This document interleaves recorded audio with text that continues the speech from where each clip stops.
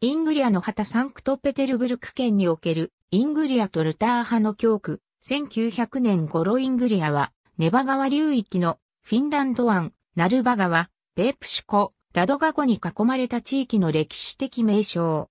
スウェーデン語でインゲルマンランド、エスト語でインゲリ、フィンランド語でインケリ、ロシア語でイジョラ、またはインゲルマンランディアと呼ばれる。現在のサンクトペテルブルクを中心とした地域である。イングリアは、もともとフィンウゴル族の居住する地勢であった。当初は、イジョラ人やボート人が、後には、イングリアフィン人やエストニア人が進出した。しかし、スラブ人の北進によって、次第に、ロシア化された。バイキングの侵攻によって、ノブゴロド公国が成立し、広告領に編入される。後に、北方十字軍によるスウェーデン人の侵攻によってイングリアは争奪地となった。この地域はロシア側から見るとバルト海への出口、西欧への窓として重要な交易地であった。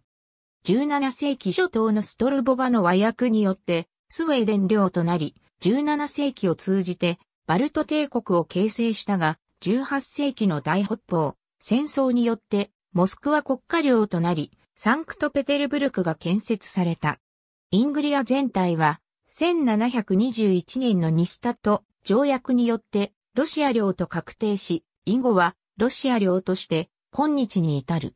10月革命期には短命ながらイングリアフィン人による北イングリア共和国が成立し、フィンランドへの合流を模索していた。現在はロシア連邦レニングラード州に属している。